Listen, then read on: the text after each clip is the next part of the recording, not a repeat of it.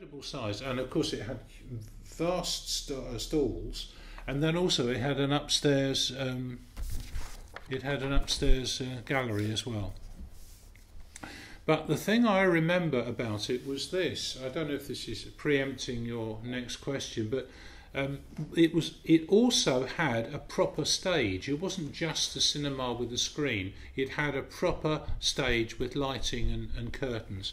And in fact, in one of these pictures, you can perhaps just see that, that that is part. I think that's part of the the stage.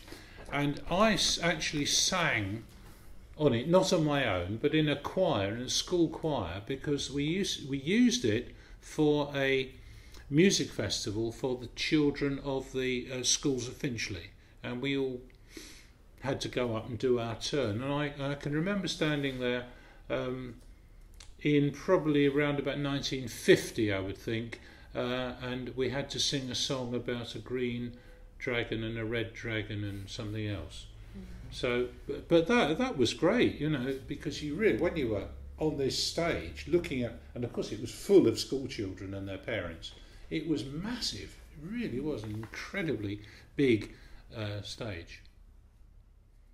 Yeah.